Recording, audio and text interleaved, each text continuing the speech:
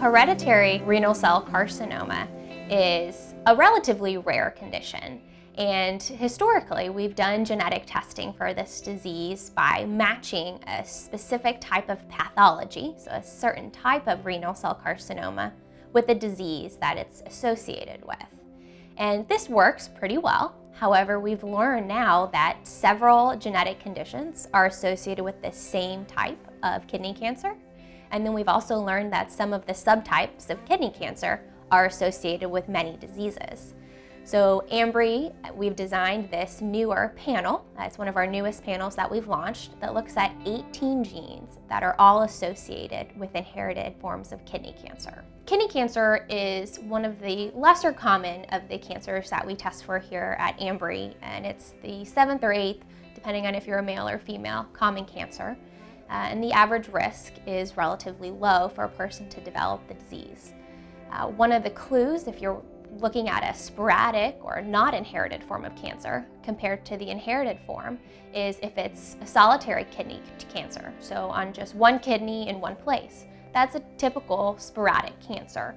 Uh, something that's going to make you think it's more likely to be inherited is if it's multifocal, so you have multiple tumors or multiple spots of tumor in the same kidney, or if it's bilateral, affecting both kidneys at the same time or at different times. And so many of the patients that we're recommending have RenalNext have had multiple kidney cancers, they've had kidney cancer multiple times, or uh, they've had multiple relatives with the same disease. Historically, kidney cancer hasn't been a reason for referral for genetic counseling or genetic testing. Many individuals, clinicians, patients, they don't associate kidney cancer with an inherited disease. And over the last 20 years, we've learned that that's really not the case. There's a lot of diseases that cause inherited kidney cancers. Some of these diseases, the only malignancy associated with the gene mutation is kidney cancer. Others have several malignancies that are associated.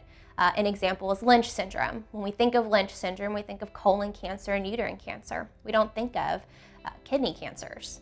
However, what if someone's adopted and they develop kidney cancer at 40? We really want to know that they have Lynch syndrome if that's the case for themselves and their family members. And if we don't do a test like RenalNext, we might never identify that mutation. So the panel is designed to look at 18 different genes that cause inherited forms of kidney cancer. So renal cell carcinoma is the most common type of kidney cancer, and that's why we've named the test RenalNext. Uh, all of these 18 genes, for the most part, are, are known. So we know what the guidelines are if we find a mutation. We know what the risks are to develop kidney cancer and other diseases. And having this information is really helpful for the patients and the clinicians at determining what is the most appropriate treatment, what is the most appropriate uh, way to prevent disease in the future, and who else in the family might be affected. So we're able to look at all 18 genes at the same time and determine what, if any, is the genetic cause of disease.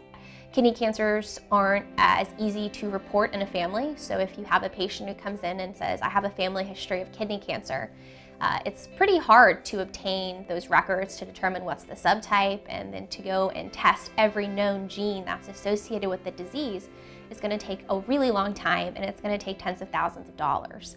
So we had clinicians asking for this test. Uh, additionally, most of the genes on this panel either weren't clinically available before or they were only available at a few labs in the country. And so to really test a patient for all the known causes of kidney cancer, you might be sending samples to five or six different labs. And for convenience sake, we think having everything done at the same time at the same place is the best way to go in all of our inherited cancer syndromes, knowing you have the disease, knowing you have the mutation is power. So no matter what the type of cancer is that you're at risk for, in this case, kidney cancer, physicians are able to help determine what's the most appropriate screening tool. So is it blood tests? Is it urine tests? Is it imaging like an MRI or a CAT scan that might help us detect a small lesion? The earlier we're able to identify a cancer, the earlier we're able to intervene. And in unaffected, healthy people, our goal is for them to stay unaffected and healthy as long as possible. And if we find a cancer, we would much rather it be a stage one cancer than a stage four cancer. And that's one of the goals of Ambry is to find individuals who are at risk for cancer earlier and help prevent cancers and, in theory, save lives.